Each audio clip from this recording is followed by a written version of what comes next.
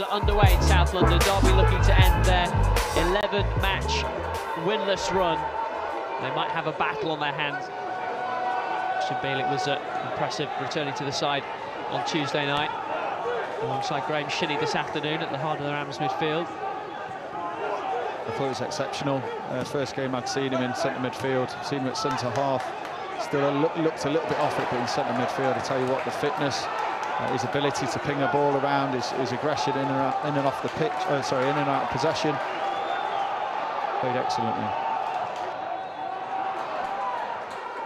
Bielik using his big frame to hold off Murray Wallace. Up and under toward Jason Knight. It'll be picked up by Holmes and Bielik. Bielik intercepts. Fouled by Thompson this time.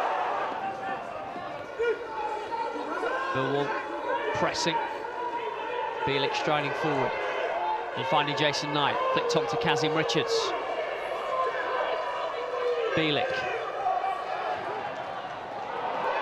Bielik will beat him to that and will be fouled.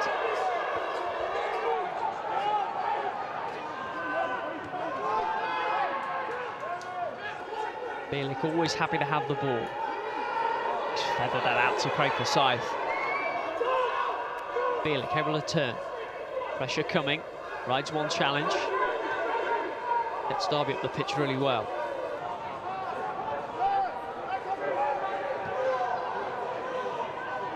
Krystian Bielik getting a little more attention from the Millwall midfield now.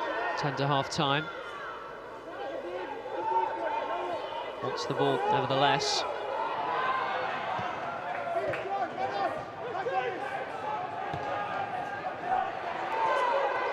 Now Krystian Bielik.